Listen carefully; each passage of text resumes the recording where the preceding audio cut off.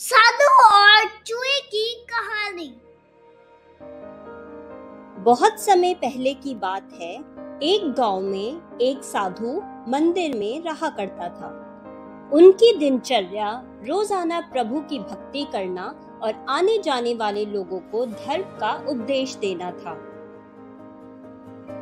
गाँव वाले भी जब भी मंदिर आते तो साधु को कुछ ना कुछ दान में दे जाते थे। इसीलिए साधु को भोजन और वस्त्र की कोई कमी नहीं होती थी।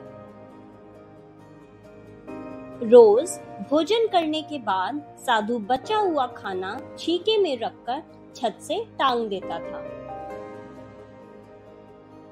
समय ऐसे ही आराम से निकल रहा था, लेकिन अब साधु के साथ एक अजीब सी घटना होने लगी। वह जो खाना छीके में रखता था, गायब हो जाता था। साधु ने परेशान होकर इस बारे में पता लगाने का निर्णय किया। उसने रात को छिपकर देखा कि एक छोटा सा चूहा उसका भोजन निकालकर ले जाता है। दूसरे दिन साधु ने छीके को और ऊपर टांग दिया ताकि चूहा उस तक ना पहुँच सके, लेकिन यह उपाय भी काम नहीं आया। उन्होंने देखा कि चूहा और ऊँची छलांग लगाकर छीके पर चढ़ जाता और भोजन निकाल लेता था। अब साधु चूहे से परेशान रहने लगा था। एक दिन उस मंदिर में एक भिक्षुक आया। उसने साधु को परेशान देखा और उसकी परेशानी का कारण पूछा। तो साधु ने भिक्षुक को पूरा किस्सा सुना दिया। भिक्षुक ने साधु से कहा कि सबसे पहले यह पता लगाना चाहिए कि चूहे में इतना ऊँचा उछलने की शक्ति आती कहाँ से है। उसी रात भिक्षुक और साधु दोनों ने मिलकर यह पता लगाना शुरू किया कि आखिर चूहा भोजन ले जाता कहाँ है। दोनों ने चुपके से चूहे का पीछा किया और देखा कि मंदिर के पीछे चूहे ने अपना बिल बनाया हुआ है।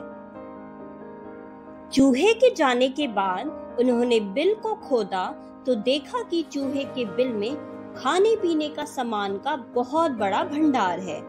तब भिक्षुक ने कहा कि इसी वजह से ही चूहे में इतना ऊपर उछलने की शक्ति आती है।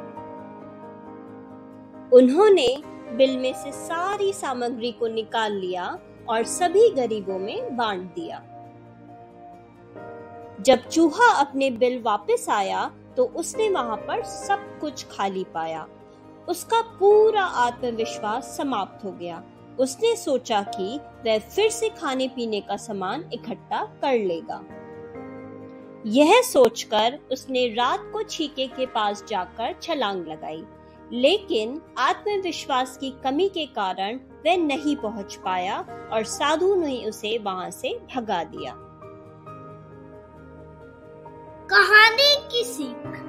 इस कहानी से हमें यह शिक्षा मिलती है कि संपत्ति के अभाव में आत्मविश्वास की कमी हो जाती है।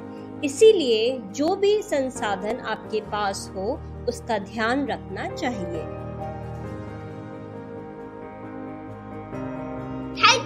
Watching. If you like the story, please subscribe and share my channel.